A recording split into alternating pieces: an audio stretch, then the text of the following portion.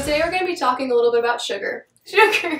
So do you ever go to the grocery store and you're looking for labels that say reduced fat or no added sugar, but then you think, well, hey, I don't want to have fat or sugar in my diet, so why can't you find both? well, the problem is, is they don't occur naturally. When companies take the fat out of a product, they have to double the amount of sugar in it so that it doesn't taste like cardboard because nobody wants to eat that. Well, so instead, you're getting tons of extra sugar added to your product, that has no nutritional benefits but there's a lot of easy ways for you to spot the added sugars. One of the easiest ways is to look at the ingredient list.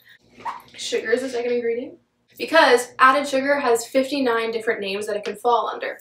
Malt syrup, cornstarch, refiner's syrup, like agave nectar. Most people don't realize that that's just another form of added sugar. Like, I would think I was eating a plant. So, the way companies hide sugar in their product is in the ingredients list. So, after you know the different names, you just have to know how the ingredients list works. So the ingredients in a product that have the highest weight go at the top of the list, and then it descends from there.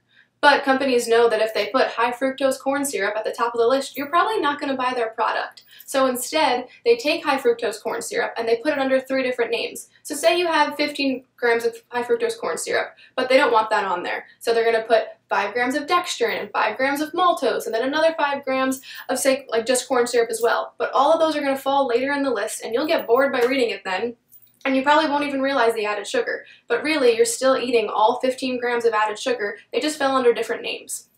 So another issue is with the nutrition label. For starters, it's in grams. I don't know what a gram of sugar looks like, but I know what a teaspoon looks like. So 4 grams of sugar is equal to 1 teaspoon of sugar.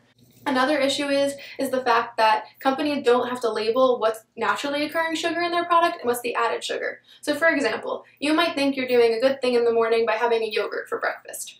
But really, 10 grams of that of the sugar that's on the label might be from lactose in the milk, which is fine and naturally occurring and is cool in moderation. However, another 5 grams might be from added sugar that might be in the form of fructose, and that's not needed.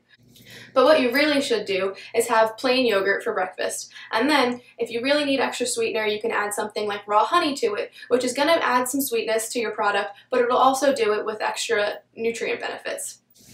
Um, I hope this is helpful, guys. I think it's good to know about what's in your product and how to read labels properly, and I hope you feel the same way.